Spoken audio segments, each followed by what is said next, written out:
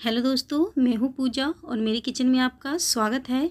तो आज हम बनाने जा रहे हैं भिंडी और प्याज की भुजिया। आप इसे सूखी सब्ज़ी भी कह सकते हैं फ्रेंड्स, लेकिन इसे भुजिया ही कहा जाता है।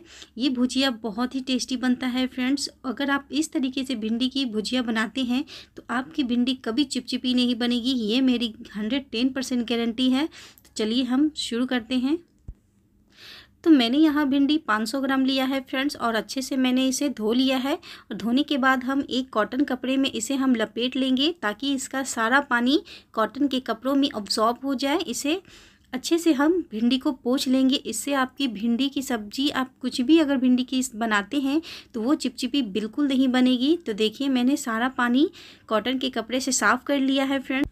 तो अब हम इसे एक प्लेट में रख देंगे और प्लेट में रखने के बाद दो से तीन मिनट के लिए आप इसे पंखे के नीचे रख दें फ्रेंड्स तो अब हम चलते हैं भिंडी को कट कर लेने। तो सबसे पहले हम भिंडी के लास्ट वाले पॉइंट को कट करके निकाल देंगे और एक पतला पतला स्लाइस हम काट लेंगे भिंडी का। आप भिंडी का स्लाइस पतला या मोटा आप अपने हिसाब से कम या ज़्यादा कर सकते हैं फ्रेंड्स तो दूसरा भी भिंडी हम इसी तरीके से काटेंगे। तो मैंने यहाँ भिंडी इतना पतला पतला काटा है फ्रेंड्स, आप अपने हिसाब से मोटा या पतला काट सकते हैं। तो इस तरीके से हम सारे भिंडी को कट कर लेंगे फ्रेंड्स। तो भिंडी को पहचानने के लिए फ्रेंड्स, मैं आपको एक ट्रिक बताती हूँ। तो देखिए, भिंडी जब भी आप ख़रीदने जाएँ तो भिंडी को जो लास्ट वाले, एंड वाले पॉइंट होता है फ्रेंड्स, आप इस तरीके से तोड़ कर देख लें। अगर ये बिल्कुल अच्छे से टूट जा रहा है तो ये बहुत ही कच्ची भिंडी है। तो भिंडी का कोई सा भी आप सब्ज़ी बनाएँगे तो आपकी भिंडी बहुत अच्छी बनेगी। तो इस चीज़ का आप ध्यान रखें जब भी भिंडी खरीदे तो। तो आपकी भिंडी कच्ची होनी चाहिए, इससे आपकी सब्ज़ी बहुत ही टेस्टी बनेगी फ्रेंड्स, बहुत ही स्वादिष्ट बनता है कच्ची भिंडी की सब्ज़ी। तो देखिए, भिंडी मैंने सारा काट लिया है फ्रेंड्स। अब बाकी चीज़ें हम देख लेते हैं कि हमें और क्या चाहिए। तो मैंने यहाँ दो प्याज लिया है फ्रेंड्स, इसे भी हम काट करके छील लेंगे।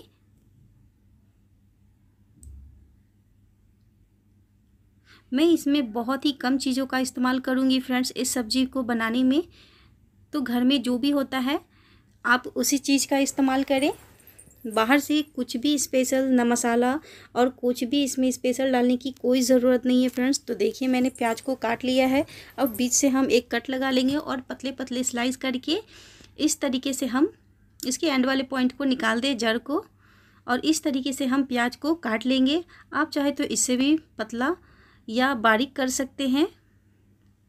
लेकिन मैं इतना ही मोटा रखना चाहूँगी तो हम इसे इसी तरीके से हम काट लेंगे। देखिए फ्रेंड्स तो प्याज भी हमारा लगभग कट चुका है। तो फ्रेंड्स, आप प्याज को पतला पतला लंबा लंबा भी काट सकते हैं। तो देखिए, मैंने इस तरीके से काट लिया है प्याज को। तो अब हम चलते हैं गैस की तरफ़। तो मैंने कढ़ाई में दो चम्मच सरसों का तेल डाला है। आप कोई सा भी कुकिंग ऑयल का इस्तेमाल कर सकते हैं, जो आपके घर में इस्तेमाल होता हो। मेरे घर में सरसों का तेल इस्तेमाल होता है। एक चम्मच हम डाल देंगे इसमें जीरा। आधा छोटा चम्मच हम डाल देंगे इसमें काली वाली सरसों के दाने। कुछ कटे हुए हम हरी मिर्च डाल देंगे। एक हम डाल देंगे इसमें लाल मिर्च। इन सारी चीज़ों को हम अच्छे से लाल हो जाने देंगे। इस तरीके से आप कढ़ाई में तेल को फैला लें फ्रेंड्स। इससे क्या होता है कि आपकी भिंडी कभी भी नहीं चिपकेगी और बहुत ही ड्राई बनेगी। अब हम इसमें डाल देते हैं अपने कटे हुए भिंडी को। और भिंडी को हमें भूनते हुए फ्रेंड्स पाँच से सात मिनट के लिए पकाना है। जब तक ये भिंडी थोड़ा ड्राई ना हो जाए और थोड़ा लाल ना हो जाए, आप इसे बिल्कुल ना ढके फ्रेंड्स। मैं बिना इसे ढके भिंडी की भुजिया को बनाऊँगी।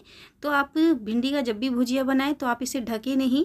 तो देखिए, एक मिनट हो चुका है और भिंडी भी लाल होना शुरू हो गया है। आप गैस का फ्लेम बिल्कुल मीडियम रखें।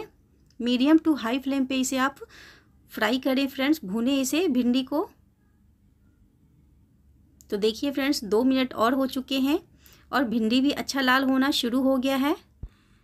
आप देख रहे होंगे फ्रेंड्स कि भिंडी हमारी ड्राई हो लग रही है। आपको इसमें चिपचिपापन नहीं दिख रहा होगा। आपको ये देखकर पता चल रहा होगा फ्रेंड्स। तो क्या होता है कि जब भी हम भिंडी को ढक देते हैं तो ढकने के बाद भिंडी हमारी जल्दी से पक जाती है और उसमें चिपचिपापन आ जाता है और वो अच्छे से लाल नहीं हो पाता है। तो इस चीज़ का आप ध्यान रखें तो भिंडी का भुजिया जब भी बनाएँ आप तो आप इसे ढके ना तो नमक हम इसमें स्वाद के अनुसार डाल देंगे। आधा छोटा चम्मच इसमें हल्दी पाउडर डाल देंगे। एक चौथाई हम इसमें डाल देंगे काली मिर्च पाउडर।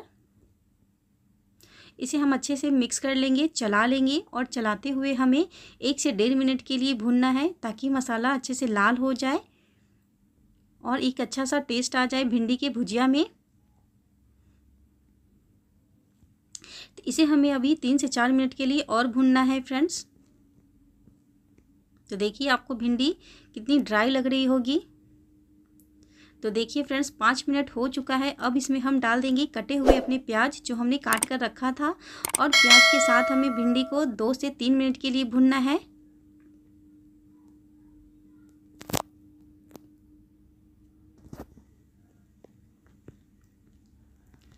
तो देखिए फ्रेंड्स डेढ़ मिनट हो चुका है और प्याज भी थोड़ा लाल होना शुरू हो गया है।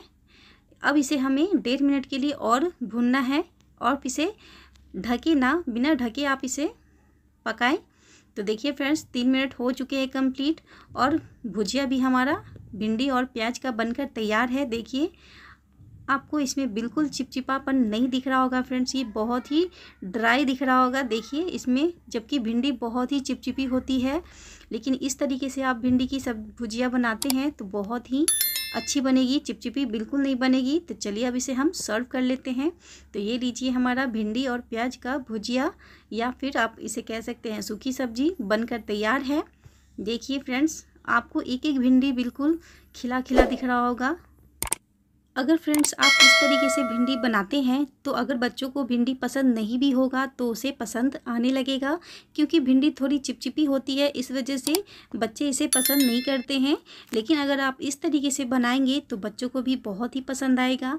आप इसे पराठे के साथ खाइए या सिंपल रोटी के साथ खाइए, या फिर आप इसे दाल चावल पे बनाइए।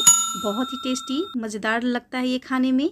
तो वीडियो आपको अच्छा लगा हो तो प्लीज़ मेरे चैनल को सब्सक्राइब करें और पास वाले बेल आइकन को प्रेस करना बिल्कुल ना भूलें ताकि मेरे नए नए वीडियो की नोटिफिकेशन सबसे पहले आपको मिल सके। वीडियो अच्छा लगे तो एक लाइक ज़रूर कीजिएगा। Thank you.